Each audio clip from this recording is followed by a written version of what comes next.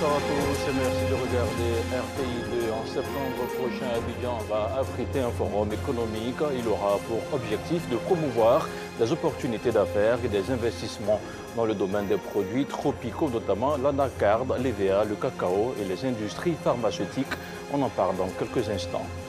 Et puis on ira au Burkina Faso où le premier conseil des ministres a été dominé par la crise sécuritaire. La situation humanitaire est également préoccupante dans le pays, a fait savoir le porte-parole du gouvernement. Voilà pour les titres. Merci de regarder RTI de Le World Business Club Forum se tiendra à Abidjan le 28 septembre prochain et il va durer trois jours. Il s'agit d'un forum économique qui se veut multisectoriel avec des rencontres entre des partenaires d'affaires ivoiriens et africains. L'Inde sera parmi les pays qui ont confirmé leur participation. Plus de détails avec ce reportage de Georgette Ido Fofana. Promouvoir à l'étranger les opportunités d'affaires et d'investissement en Côte d'Ivoire, c'est l'objectif du World Business Club Forum. Ce rendez-vous multisectoriel de rencontres et d'échanges entre investisseurs, opérateurs économiques ivoiriens et africains se tiendra du 28 au 30 septembre 2022 à Abidjan. Concernant les nouvelles dates, le forum WBCF 2022 aura lieu du 28 au 30 septembre 2022 à la Bibliothèque nationale au plateau.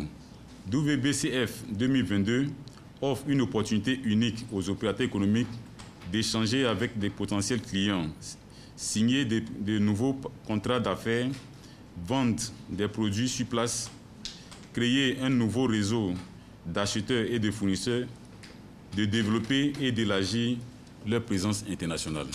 L'événement sera meublé par un panel de haut niveau animé par des experts internationaux, des conférences privées et des rencontres B2B.